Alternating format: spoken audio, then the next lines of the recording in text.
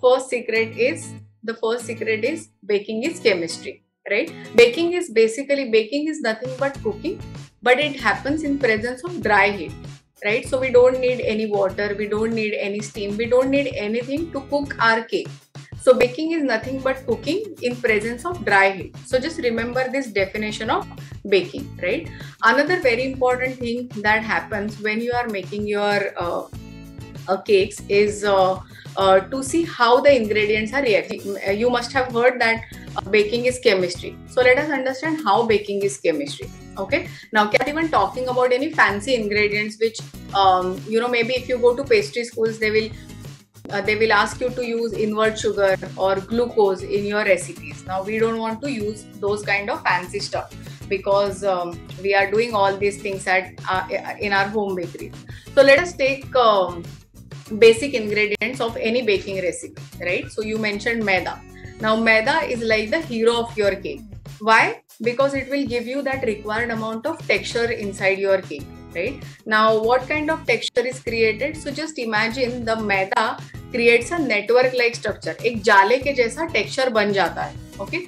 So uh, in other words, people say that gluten is formed. Okay so just remember एक जाले के जैसा texture बन जाता है meaning you get a network like structure inside your maida while you are making your cake recipe okay the next thing oil so yes people use any fat in the recipe so you can use ghee you can use butter as well or you can use oil right so there are oil based cake there are butter based cakes there are fat free cakes that are available in the market so you can use any of these particular things for making your uh, cakes now, why do we use fat in the recipe? Uh, we use fat in the recipe because it acts as a tenderizer, meaning it will make your cake very, very moist and tender. Okay, that is the only function why we use fat in the recipe. But apart from that, we use fat because it acts as a natural preservative. Remember in your achar जब भी हम लोग pickle या अचार बनाते हैं घर पे, अभी समर्स में it stays for twelve months और वो हम लोग फ्रिज में भी नहीं रखते. We keep it in or we keep it in glass bottles in room temperature right there we add lot of oil and why do we add so much oil because it act as a natural preservative sugar is another natural preservative salt is another natural preservative that traditionally we have been using in our recipes because they act as a preservative okay so fat acts as a tenderizer it will make your cake moist and it act it acts as a natural preservatives as well uh, so it will increase the shelf life of your product naturally. We don't want to include any chemicals or any preservatives in our, any um, additional preservatives in our recipes at all. The next one is sugar. So of course we need to eat cakes that are sweet in taste. So we will add sugar in our recipes.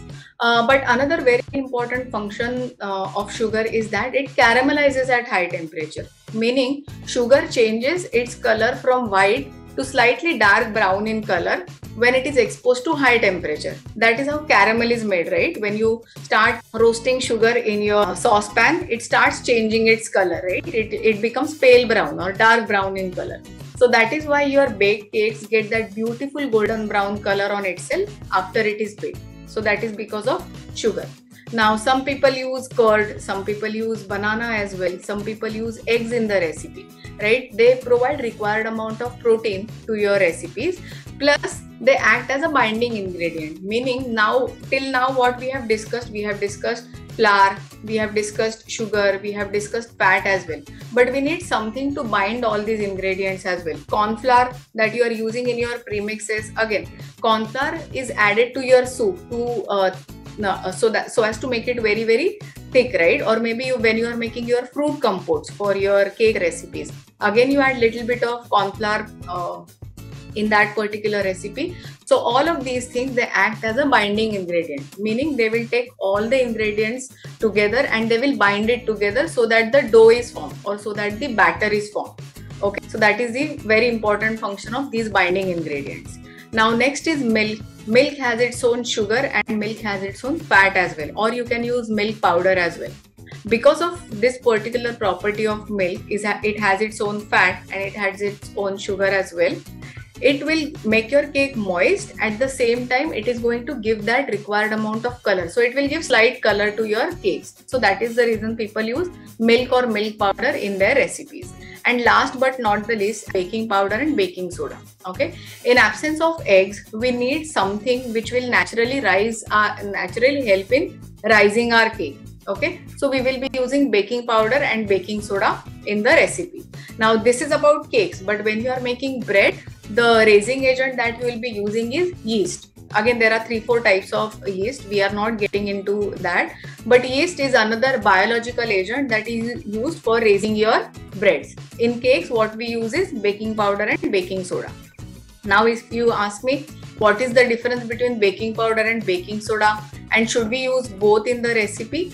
See um, you have to understand that um, whatever recipe calls for whichever ingredient you have to stick to that. There are certain recipes where you will find there are they are using only baking soda in the recipe.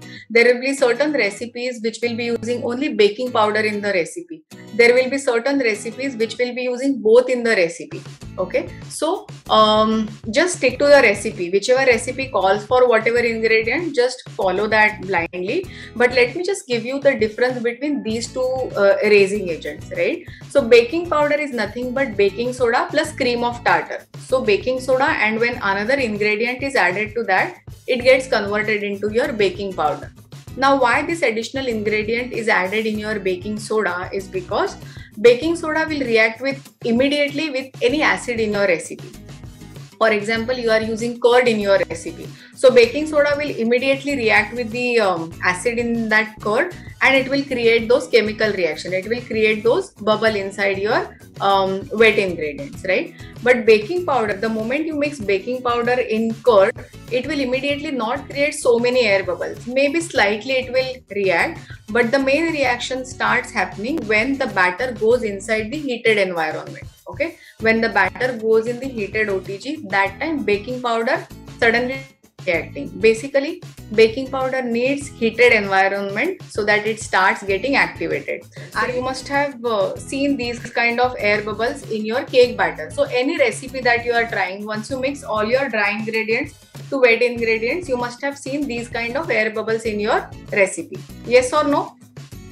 Yes. So this is this is nothing but the first rise first rise of the cake that is happening inside your cake batter ठीक है? आपके cake के batter में जो पह, सबसे पहला cake जो राइज होता है ना वो ओटीजी के बाहर होता है right it happens outside the OTG so the first rise these air bubbles these air bubbles are going and fitting inside the network like structure remember I told you मैदे के अंदर एक टेक्स्चर बनता है एक जाले के जैसा टेक्स्चर बनता है। So these air bubbles are going and fitting inside that particular pocket. These are like air pockets right? And that is how naturally the cake is rising. So this is the first rise of the cake that is happening. Second and third will happen during the baking process. You have to measure your ingredients correctly and for that you will have to use your digital weighing scale okay? If you guys are still using measuring cups for measurements guys you are bound to get bad textures for your cake okay? So please invest in good um, uh, digital weighing scale. Digital weighing scale is something that is going to uh, help you get accurate measurements for your uh, cakes. Okay? And all 90% of your baking related issues like sticky cake getting dry cake getting a lot of cracks on the cake or maybe sunken cake. All of these things are related to not measuring your ingredients correctly. So tomorrow if you show me your cake or if you tell me that oh my god my cake is sunken in the middle my first question to you will be have you measured your ingredients correctly or not? Because remember last time also i had shown you that there is difference between one tablespoon and one teaspoon. And initially all the beginners including me they make this mistake. Instead of one teaspoon they will be taking one tablespoon measurement. Or maybe instead of like they will read the recipe and in a hurry they will just try to halve the recipe. And uh, they will forget to halve the baking powder and baking soda uh, thereby including more air bubbles in the uh, cake batter. And that is how the cake texture affects very very badly. Okay? So secret number one is baking is chemistry